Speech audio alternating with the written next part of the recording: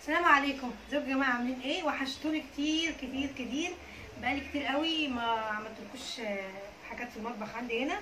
النهارده إن شاء الله هنعمل حاجة بسيطة مع بعض. هنعمل بإذن الله كيكة السيفن أب. تمام؟ الكيكة دي سهلة جدا وهشه قوي وطرية. وكمان ممكن تحطوا فيها مكسرات أو فروته اللي هي بقشر البطيخ اللي عملناه مع بعض. أو ممكن نحط chocolate chips أي حاجة. بمناسبه الفروته على قشر البطيخ دي يا جماعة وصفة معروفة جدا جدا جدا من زمان. مش اختراع حد ولا اكتشاف حد. المصانع كلها بتعملها بقشر البطيخ هي مش معجزة. عشان نبطل اللوك لوك لوك لوك والكلام الفاضي ده. المقادير بسيطه مع بعض. أول حاجة نقول المقادير وبعد كده نولع الفرن ونشوف هنعمل إيه. أنا عملت أول حاجة أنا هعملها في الصينية دي. دهنتها بالزيت ورشيت لها رشة دقيق تمام؟ نقول المقادير مع بعض. بصوا حبايبي دي الكوباية اللي أنا عايرت بيها كله. هتعايري كله بنفس الكوباية تمام؟ نقول بسم الله الرحمن الرحيم. عندي كوباية وربع سكر سكر عادي اللي هو الخشن تمام؟ وعندي أربع بيضات نص كوباية زيت أو سمنة أو زبدة أو سمنة على زيت أو زبدة على سمنة المتاح عندنا نستخدمه أنا هعملها بالزيت تبقى خفيفة كده وحلوة. وعندي ثلاث كوبايات دقيق والفروته اللي عندي هديها معلقة دقيق عشان نقلبها فيها عشان لما نيجي نحطها في الكيكة ما تسقطش في القعر. وطبعا عندي فانيليا ورشة ملح ومعلقة كبيرة baking powder وعندي كوباية سيفن أب بس هخليها في الآخر عشان الصودا اللي فيها ما تروحش اهي تمام؟ نقول بسم الله الرحمن الرحيم ونبدأ مع بعض. أنا هعمله في البتاعة دي. دي بتسهل عليا. ممكن طبعا نعمله في الخلاط. أو في المضرب اليدوي أو في العجانة زي ما نحب. نبدأ يلا. نقول بسم الله الرحمن الرحيم. ادي السكر. ونحط فوق السكر على طول البيض. بسم الله. أربع بيضات. لو البيض عندك صغير حطي خمسة. ونروح حاطين على طول الفانيليا. استنوا في قشره صغنطوطه بس كده اهي صغننة خالص. وادي الفانيليا. اهو يا حبايبي ابتدي بقى نضربها كويس بسم الله. اهو ضربت السكر والبيض كويس قوي. أروح حاطة الزيت بسم الله. تمام كده؟ نضربه كمان ضربة ما نكترش في الضرب قول بسم الله.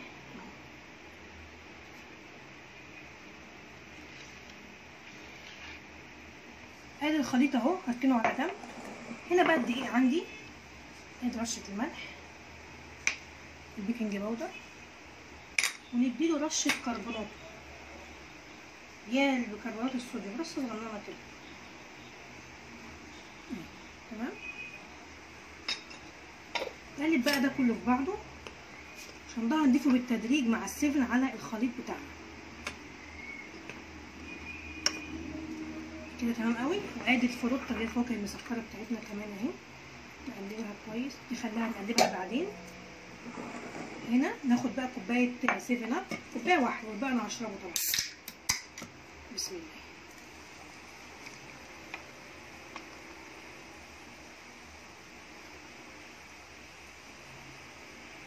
لذيذ يا لك لي أنا.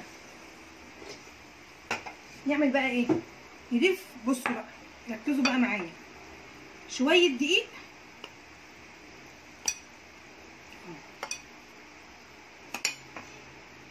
ونقلب أدي الدقيق حطينا دقيق ونقلب. نحط شوية سيفن بسم الله.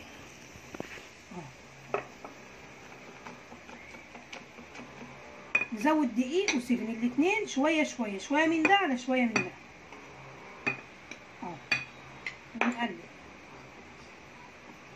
طبعا لازم إيدينا في اتجاه واحد وإحنا بنقلب. أقعد بقى أضيف شوية شوية شوية من هنا على شوية من هنا لحد ما أخلص كله. أهو.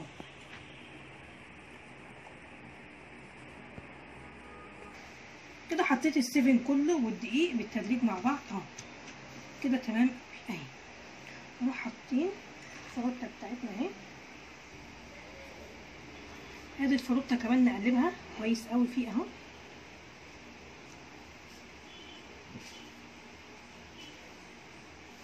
بس. كده الخليط معانا جاهز عشان نحطه في الصينية. وطبعا الفرن شغال زي ما قلت لكم.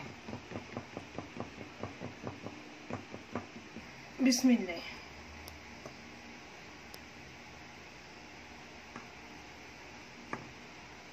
الفرن شغال على 180 طبعا الكيكات بنشغل لها من تحت بس ما ينفعش نشغل لها فوق وتحت. 180 نحطها في الرف اللي في النص على الشبكة. خلاص كده ندخلها بقى الفرن. درجه حراره 180 زي ما قلت لكم في الرف اللي في النص على الشبكة. تقعد بالظبط من 40 ل 45 دقيقة. ممكن تاخد 50 دقيقة بالكتير قوي ما نكترش. عن كده ما نفتحش عليها قبل نص ساعة عشان ما تحبطش ندخلها الفرن ونرجع لكم بعد ما تستوي.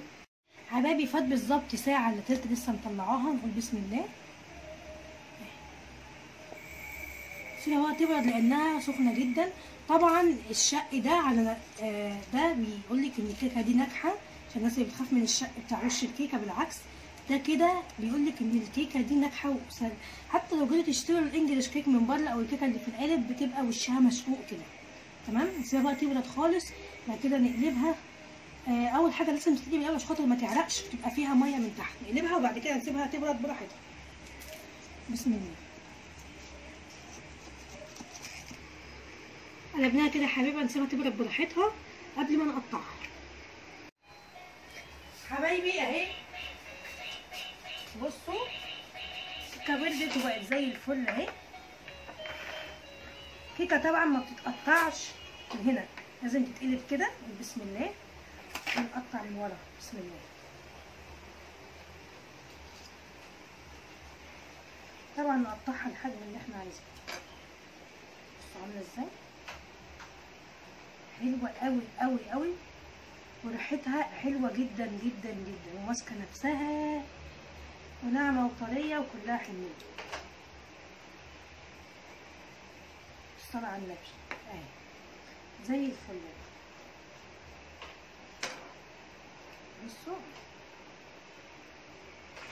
حلوة جدا جدا جدا.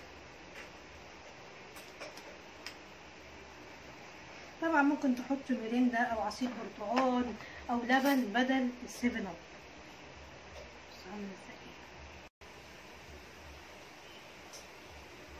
بجد يا جماعة نفسي تجربوها. بأمانة هتعجبكم قوي قوي قوي بسم الله. رائعة.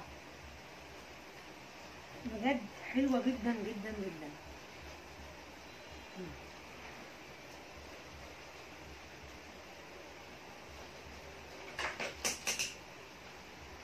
جربوها يا جماعة بالطريقة دي. أنا واثقة بإذن الله إن هي هتعجبكم إن شاء الله لأنها حلوة قوي وهشة. بصوا زي الفل أنا بحب اكل بقى دي حلو قوي قوي ارجعي ورا يا لافا. هتقعي نعم.